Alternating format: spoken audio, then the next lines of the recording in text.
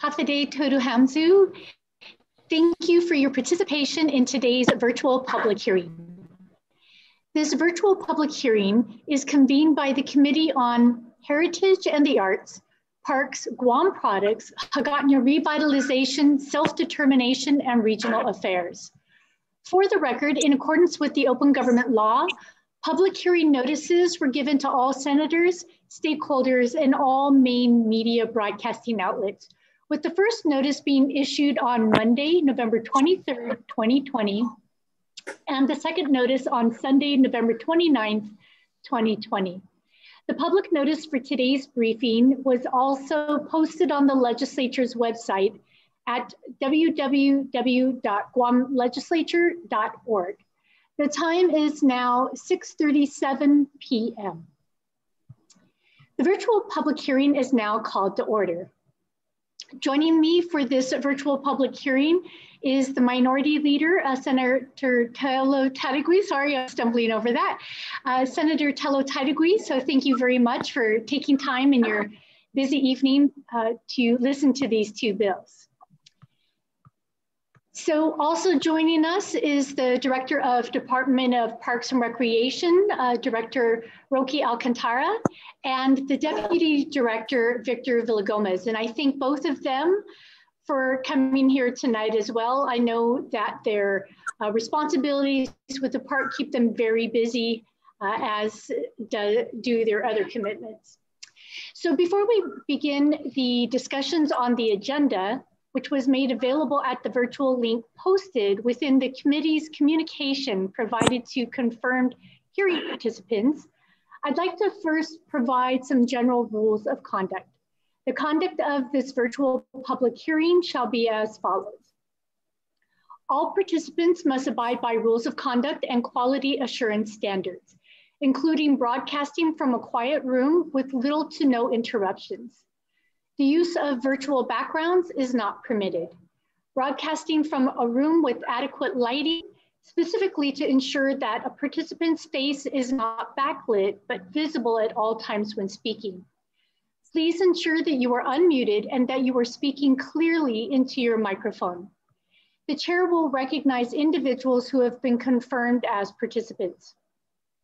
Individuals providing oral testimony shall first be recognized by the chair, before speaking and shall state their name and title for record keeping purposes. The order of questioning will begin with the panel of senators, which is a cozy number of two at this point. And each panel member will be allowed to pose one question and then be provided another round to ask any further uh, necessary questions.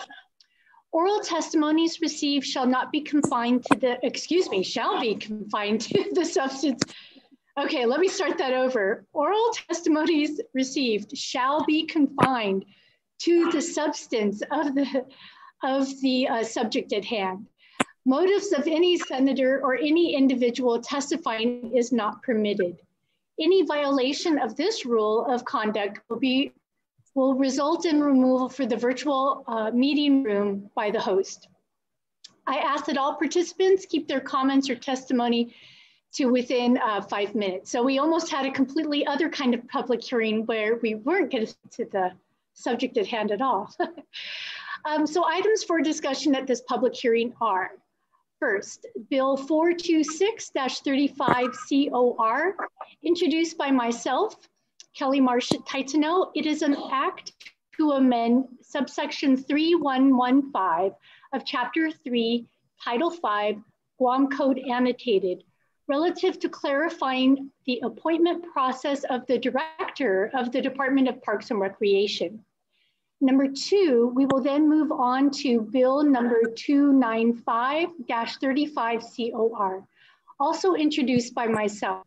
It is an act to amend subsection 77114 of chapter 77, title 21, Guam Code Annotated, relative to safeguarding the public recreation services fund. I will begin by introducing the first bill and then we'll call on participants to testify uh, should they desire to do so. Opening statement is that uh, over the past several years, there has been much confusion over the confirmation process of the director of the Department of Parks Recreation. Part of this was, as was mentioned earlier, that there had not been a board in place for, I believe, six years. And uh, this caused a gap in the, uh, in the process. Now that we have a bill, in, uh, excuse me, a board in place, uh, we are coming across two conflicting pieces of legislation that have created these extra layers. The legislative intent of the bill expounds on, excuse me, expounds on two sections in law that reference the process. One part of the process requires that the director needs consent of both the governor and the legislature. We recognize that this is a peculiar step and no other agency requires both the consent of the governor and the legislature.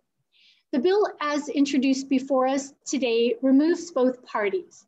However, for the record, please note that the committee intends to amend the bill to better reflect the process as a whole and recognize the governor's organic act authority to appoint heads of agencies and the legislature's responsibility to consent.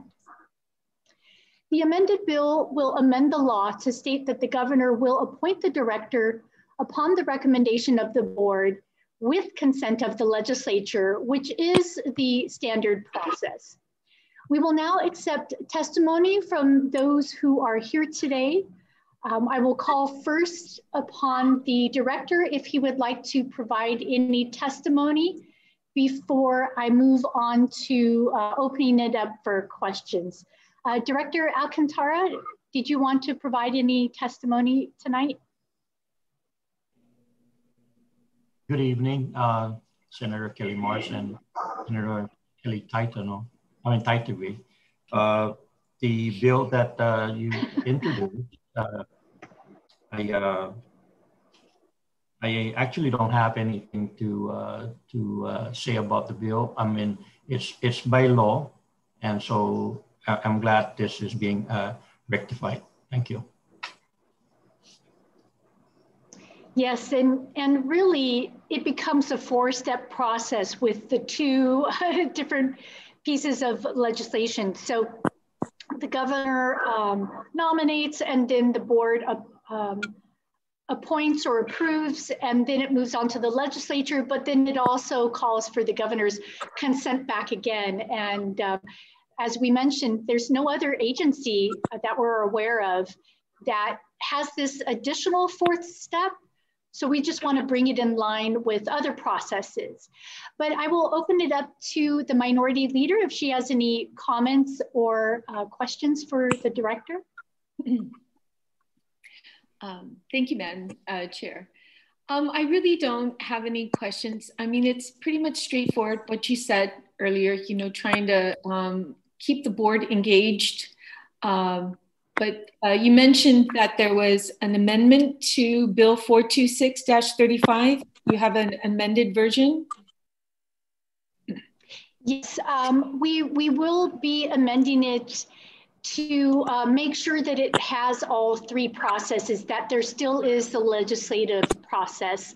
Um, we think that's really important given the large mandate of the Department of Parks and Recreation and you know, the many issues that we know it, it has before us. And we're very grateful that the director and the deputy director are working as hard as they are to fix those issues, but it just speaks to the need to, in my, in my view, to keep the legislature as part of this process. Um, but maybe you have some comments on the need to keep the legislature or, uh, or not.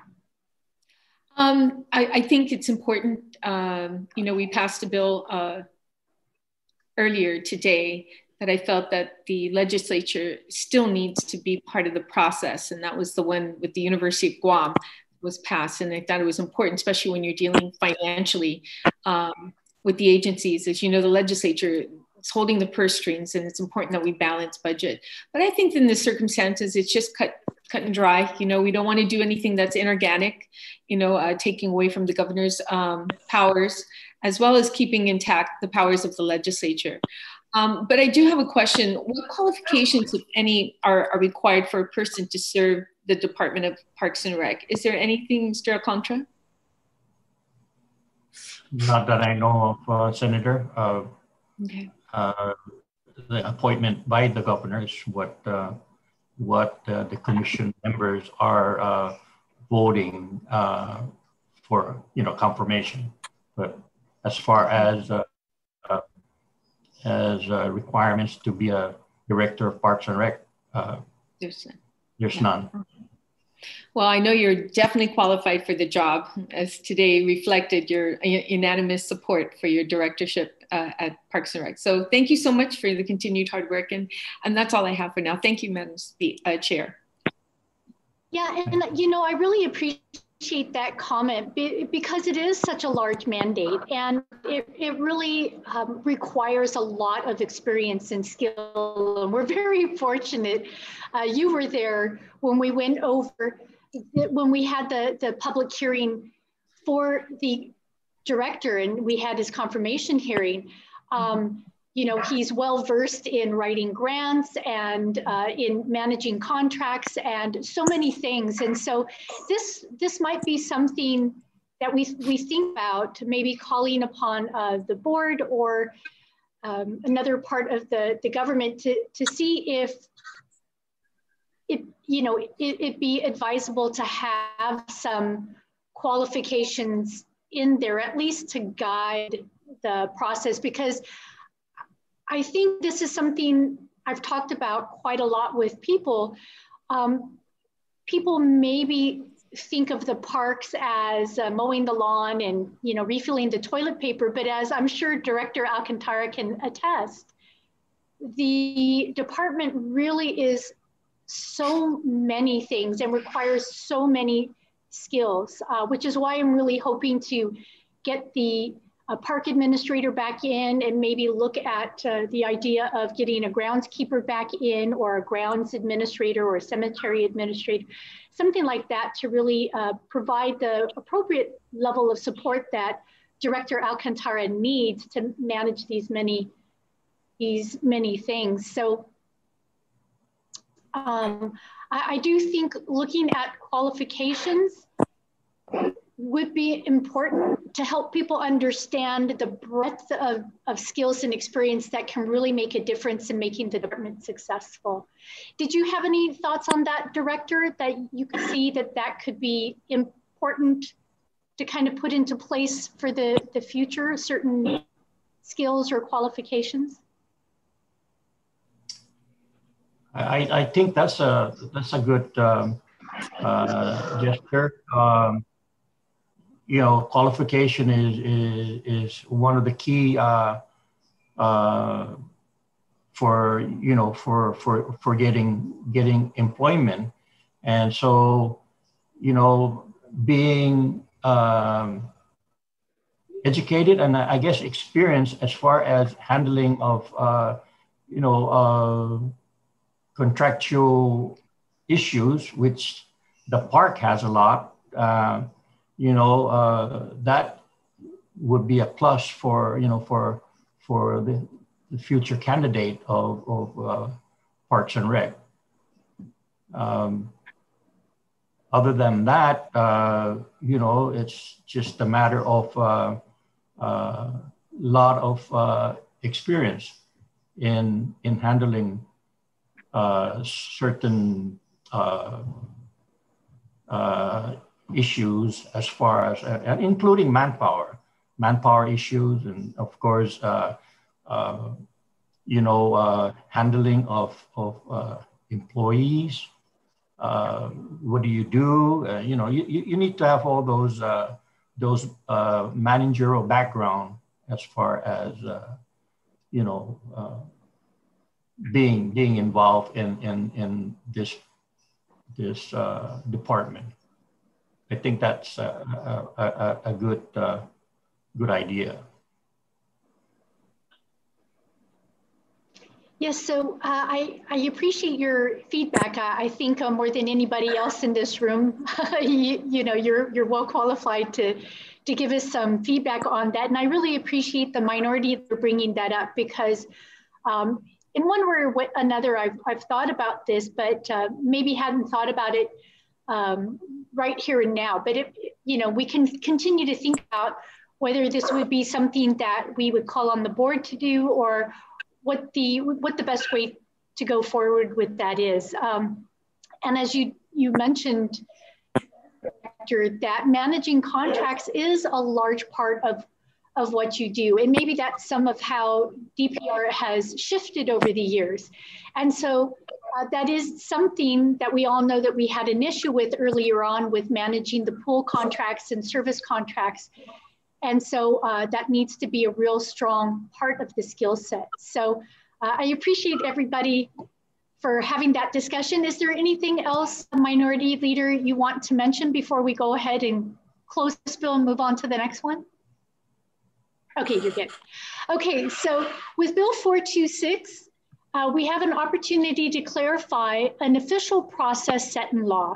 This opportunity is important in providing future legislatures and administrations a clear pathway for the DPR director's confirmation process. We should take each opportunity such as this to address any ambiguities or vagueness law or conflicts so that our successors don't have to go back and forth on the same issues we have faced. In fact, um, we, we got legal opinions um, at least three different times just to make sure that you know, everything was uh, appropriate as we were going forward. Avoiding this saves much time and effort, and at the end of the day, makes for a more efficient process. And I ask my colleagues for their support and consideration of Bill 426. We will now move on to the second item. So it is uh, 6.53, and we will move on to the second item on the agenda. This is Bill 295, which is an act to amend subsection 77114 of Chapter 77, Title 21, Guam Code annotated, relative to safeguarding the Public Recreation Services Fund. As the bill sponsor, I will begin with my opening statement on the bill. Bill 295 was introduced after a meeting with the Department of Parks and Recreation after some concern was shared by the department regarding further ensuring that the Public Recreation Services Fund was safeguarded from transfers. By law, the money deposited into the fund comes from fines, um, it can come from various fees, um, but fines for perhaps violating our alcohol-free zones in our parks, and fees received from permit use for the parks uh, and other such other revenues that come the Department of Parks and Recreation's way. Expenditures of the fund are permitted only for the following purposes, and I think that this is important, that it's been streamlined uh, in a way that helps the park do the work that it's mandated to do. It can use the fund for maintenance of the parks and recreational facilities that are under the department. It can support the purchase of supplies and equipment for maintenance. It can support the creation or continuance of community related programs and activities for the island. We do have a recreation uh, director now, or excuse me, administrator now. And so uh, this is something that he may be interested in bringing up to both the director and the board. So Bill 295 attempts to further ensure that every penny deposited into this fund remains in this fund. DPR has been consistently underfunded over the past couple of decades. Critical positions have gone vacant and necessary equipment are still lacking. This is no fault of the department uh, as it is per se, as it can only do with what it has been given. We have seen in the past that money in other funds or accounts are separate from the, the general fund were transferred by other administrations. We would like to have the peace of mind that the legislature has made it abundantly clear that monies must stay with DPR and must be used only for the purposes set out in law. so with that, um, I, I, will again ask the director if he has any comments or testimony he would provide. Um, I would imagine it will be in support of keeping the money for the department. Director? Yes, uh, thank you, Senator. Um, yeah, this bill will actually uh, actually help the, the funding that the department has been lacking. Um, I, I do support this uh, with you know with uh, the intent that it's, it's going to be used for for the you know maintaining the parks and, and getting uh, uh, materials and, and, supplies and especially equipment.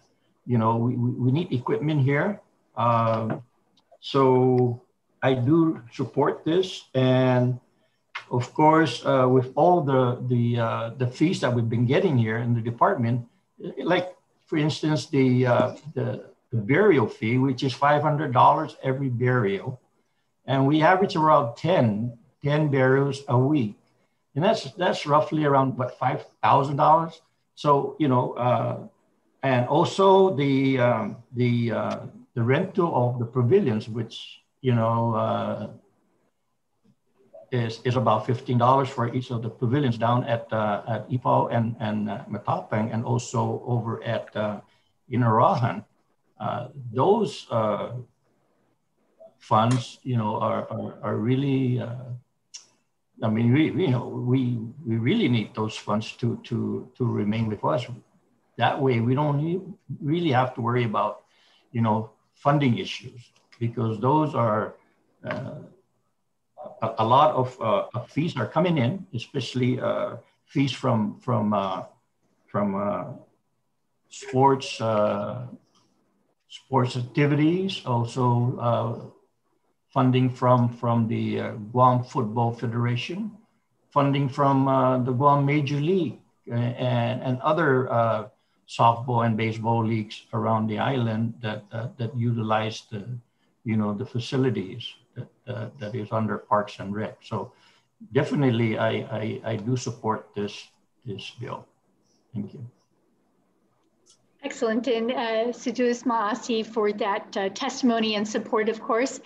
And I was pleased to hear in the previous hearing when we were having a confirmation hearing for uh, Mr. Steffi to be a board member for DPR that he was reminding of us of the days where um, they were able to generate revenues through uh, billboards and other things. And he said that that could bring in about $60,000 a year. So you know, we want to make sure that those burial fees, especially because that's probably the single largest fee that is available to DPR, that the burial fees are getting there.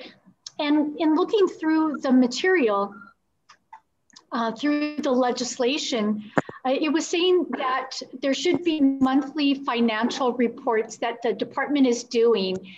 And, it, you know, it may have been quite some time since that has been done but it's important to have something like that so that it can be uh, verified against what the recreation fund is showing to make sure that uh, inadvertently or otherwise uh, hasn't made it in there because if if there's $5,000 a week being collected, that could be a huge help.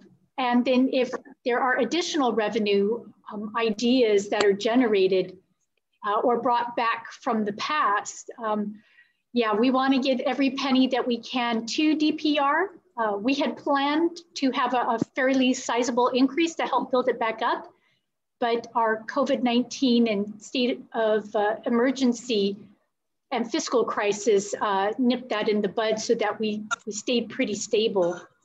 Um, so fortunately, we didn't lose too much, but we haven't been able to really build back to where we need to be.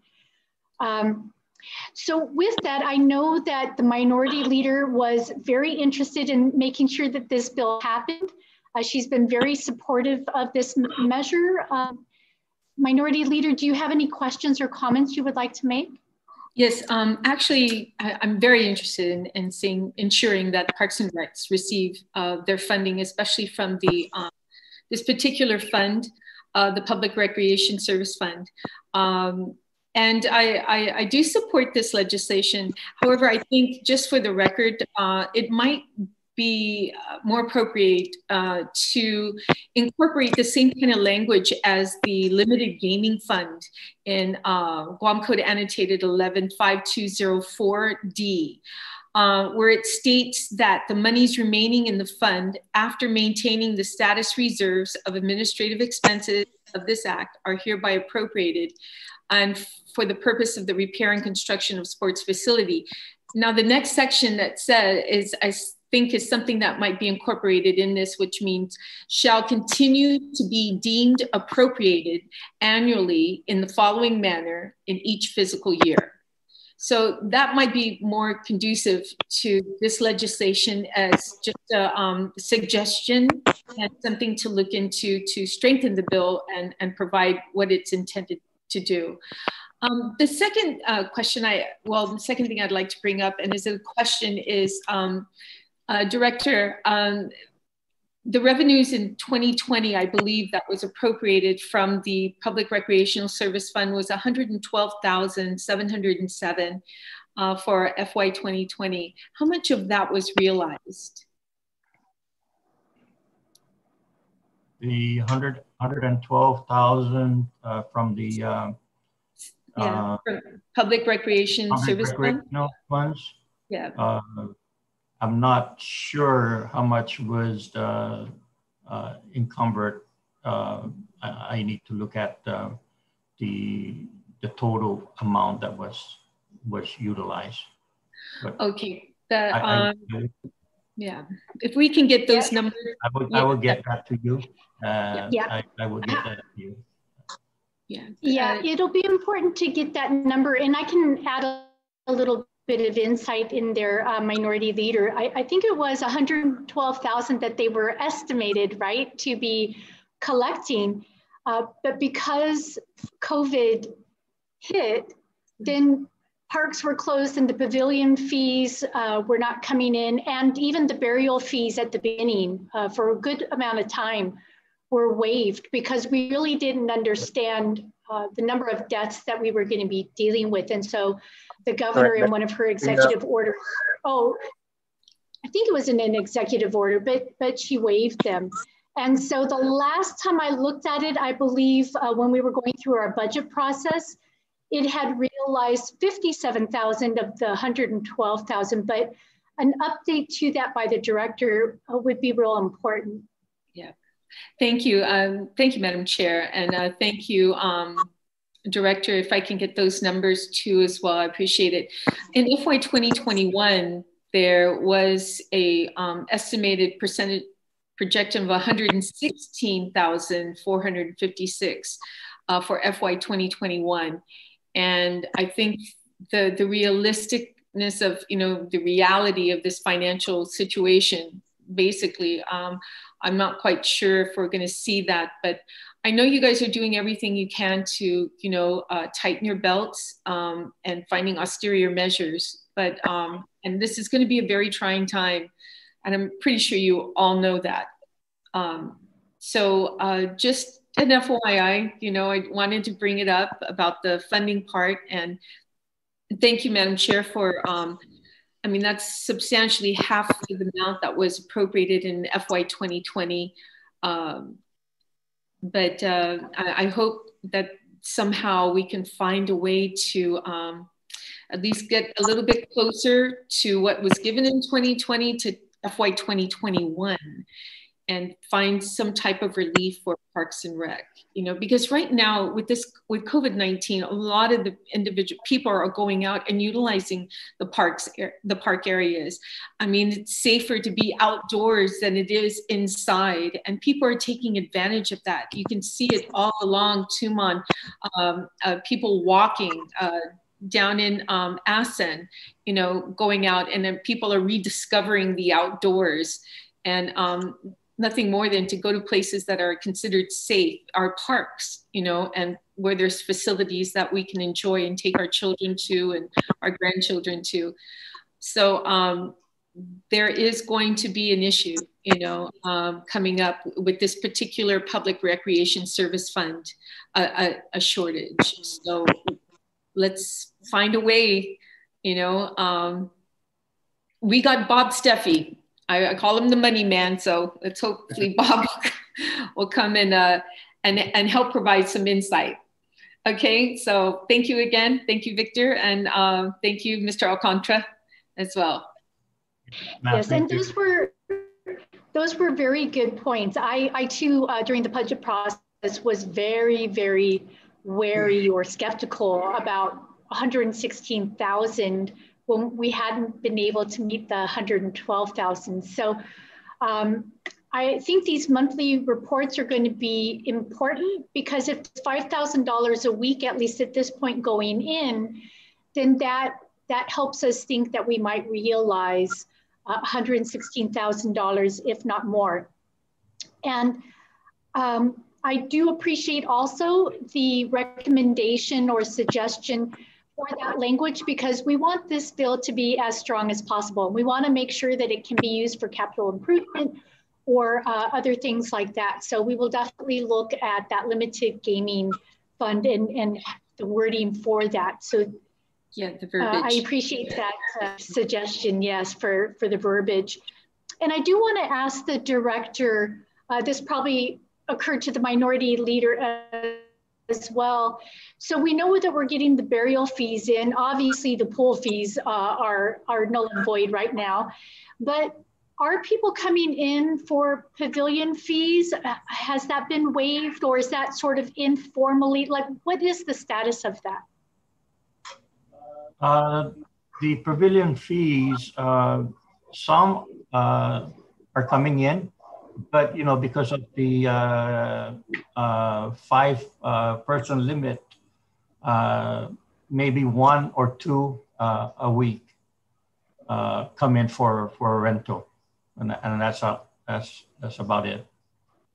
And, Madam Chair, if I, if I may, just since, since you brought that up, um, uh, Roki I know it's the five capacity uh, that's outside of the family dwelling, but um, I guess some of those who are renting could be families who are in the same, you know, dwelling, which is more individuals. Is that what you're starting to see? I mean, it. it yes, uh, uh, yeah, a, a, lot of them are just uh, family members. Uh, there, there's not uh, uh, or that's with uh, you know different uh, uh, most most of that is just family. And and when they come in here to uh, to uh, get a rental uh, we ask them what uh, you know what the purpose is for for for uh, being there. But it's it's mostly family that's going to be using it. Do you, do you ask them Roki, if it's family within the same dwelling? If there's i'm pretty sure you give them the uh, the executive orders, um, you know, uh, mandates, right? So yes, we, we do, we do, and okay. uh, we, you know, it's hardly uh, not a lot of them come in mm. here for rental, not like right. uh, yeah. before. I mean, maybe if they lift the uh, the requirements of yeah, over five five, then we'll get get a lot. Yeah, a lot that's and and we're hopefully we're on that track. You know, staying underneath the car, you know, and we have two weeks to go on that. But thank you, Madam Chair. I was just thinking about that, uh, wanting to know who, who exactly is renting those right now during a time. Yes. Okay, thank you. And it's good to get assurance that um, the executive order, those mandates, you know, are being outlined or explained so that uh, people understand when they're going out there. So also, good, good point. Also, just to, uh, just to, to add to that on the uh, the permit that's given to them when they when they um, pay all their fees and stuff. It's also noted on the permit, um, the the executive order uh, and and stuff like that. It's all all in the permit. So. That's that's good. Excellent. Well, it's good to hear that those kind of details are in place, um, and that that speaks to the shaping up. I think of the the department that um, people are working together and uh, they're each making sure that these uh, details are being taken care of. So Si Yu'os Ma'åse' for that uh, Deputy Director as well. So thank you to um, the Senator, the Minority Leader who provided comments and asked questions, and to those who testified. Your testimony and comments will be considered by the committee. If there aren't any other comments, I will now close on the bill. Bill 295 makes it clear that we as a legislature recognize the important work DPR must do in maintaining our parks and cities and that we as a body also recognize that every resource and every penny it has is critical in helping DPR meet its needs and mandates. Therefore, I ask my colleagues to support this bill. The bill leaves no room for interpretation or ambiguity. The money deposited fund by law from the limited re revenue sources that the department has, which I mentioned before, should always and rightfully stay with the department. The bill at the end of the day provides DPR with this additional assurance. And I encourage uh, the director, if he hasn't done so already, to implement that, that portion of the, the law that calls for the monthly reports. Because if there is something like uh, 40 burials a month, that means that $20,000 a month uh, should be showing up in the services funds. And uh, that can then, I believe, be directly applied for for equipment and other items. So we have now exhausted both items on the agenda. As a reminder, the committee will continue to receive any written comments on bills 426 and 295. Please address your written testimony to the committee on the uh, excuse me on heritage and the arts parks Guam products Hagåtña revitalization, self-determination and regional affairs and submit it via email to office.senatorkelly at guamlegislature.org or to my office located on the second floor of the Guam Congress building. The committee now adjourns this public hearing. The time is now uh, 7.13. Uh, thank you again, everyone, and uh, have a good evening to everyone.